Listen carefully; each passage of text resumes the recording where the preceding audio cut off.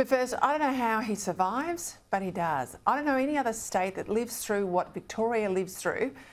Yet here again, we're back facing these sorts of uh, claims about the Premier. Released earlier today is another report from the anti corruption watchdog IBAC, this one involving the Operation Daintree investigation. And it makes for damning reading. The investigation found, and I quote, evidence of misconduct and improper influence the highest levels of the Andrews government over the awarding of a million dollar plus training contract to a Labor affiliated union. It found senior staff, senior government staff in the Premier's office were involved in handing a contract to the unions without a proper tender process. It found that the money was pocketed, but that less than a fifth of the training was ever delivered, and what health training was given to workers, the Commission found, was poor in quality. This from the Premier, who stood up at his press conference today and almost every day during COVID, lecturing all and sundry about doing the right thing by health workers. We now know at the very same time his own staff were doing them over. Now, you can't tell me that this went on and the Premier sat at his desk only metres away from his senior staff and that he knew nothing. I've been in the job of advising senior leaders, so I can tell you this is BS. The Premier's weak excuses today, all of this happened in his office on his watch and still he says he didn't know. He is, after all, renowned as a control freak leader. Indeed, in a reference to IBAC, former Health Minister Jenny Mikakos described the Andrews government as a very centralised one, with the Premier's private office having its tentacles everywhere.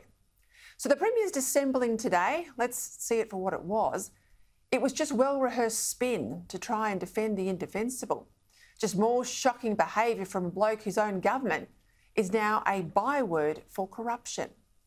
As Victoria's anti corruption watchdog confirmed today, Daniel Andrews held a meeting with a health union chief on the 4th of October 2018, just weeks before he personally announced the funding to the union. When asked about it under oath at IBAC, we find out today in this report quote, that the Premier did not recall what was discussed in the meeting. Are you kidding me? We're supposed to believe this yet again from a man who's made, I don't know, I can't recall, his standard line whenever the corruption cops come calling. Just like the infamous Coate inquiry into hotel quarantine, this is a Premier who once again couldn't remember what was said, can't recall specific events. If you haven't got absolute, like absolute to a certainty recall, then you say so. Like, I don't know whether people would want you to be turning up just, you know, making it up. And I, will freely confess, um, I, do I do not have perfect recall of every single press conference I have ever, ever done. Nor do I reckon any of you do either. I mean, this was a pantomime today. Funny because when it came time to give the taxpayer millions to his union mates, Daniel Andrews was all over it. Can't remember the meeting, but turned up to give the money away. Indeed, standing beside him was the woman he had the meeting with three weeks earlier that under oath he couldn't remember anything about. Now, this is embarrassing to anyone who's worked inside government. This man keeps getting away with it, but he does. Ultimately, as the IBAC report found, the health union failed to properly train the health workers as promised, with only 83 out of the planned 575 workers receiving any training at all. And those that got the training, well, the quality of it, says IBAC, was poor. IBAC found that the excuses by the Andrews staffers for not running a proper tender process for this million dollar plus contract were weak. That the health union was given and I'll quote again privileged access and favourable treatment in its access to ministerial offices. That the proposal from the union raised a conflict, said IBAC, between the government's interest in procuring the most suitable supplier for the training and the governing party's interest in assisting an affiliated union. As IBAC also found, this conflict of interest was not properly managed nor declared. IBAC's report today also confirms what you and I already know after we lived through Victoria's hotel quarantine debacle.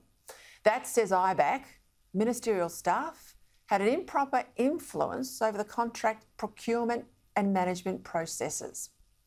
It also found that conduct by senior public servants fell short of the required Victorian public sector standards, and that the corruption and stench around this government, well, was ripping off taxpayers and hurting health workers.